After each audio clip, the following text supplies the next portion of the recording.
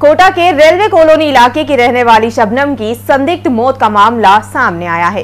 पीड़िता को बेहोशी की हालत में कोटा के एमबीस अस्पताल में भर्ती करवाया गया।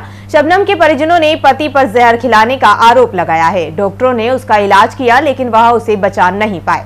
परिवार वालों का आरोप है कि शबनम के पति अब्दुल सलीम के कई महिलाओं से अवैध संबंध थे, जिनके चलते उसने शबनम को जहर देकर मारा। पुलिस ने मृतका के शव का पोस्टमार्टम करवाकर शव परिजनों को सुपुर्द कर दिया है। रेलवे कॉलोनी थाना पुलिस इस पूरे मामले की जाँच कर रही है।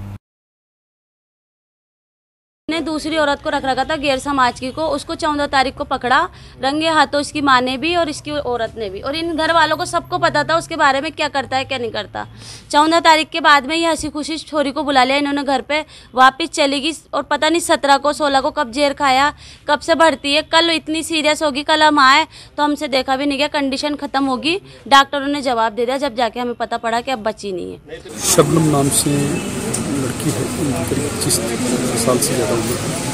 शादीशुदा अपने ससुराल में ये रेलू कॉलोनी इलाके में पड़ता है वहाँ रहते हैं। और अभी सत्रह तारीख पिछली बीसी सत्रह तारीख को पोइजन वेटर में हॉस्पिटल भर्ती हुए थे। तब से इनका इलाज चल रहा था।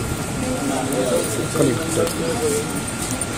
इनकी मदद जरीना जी उन्होंने रिपोर्ट दी कि मेरी लड़की को इसके पति द्वारा नातीदार द्वारा टॉर्चर किया जाता था परेशान किया जाता था। इसी कारण से जहर लिया हुआ उसको जहर दिया हुआ इस प्रकार की बात उनकी रिपोर्ट में आई है और उसी के तहत हम आगे की कार्रवाई कर रहे हैं।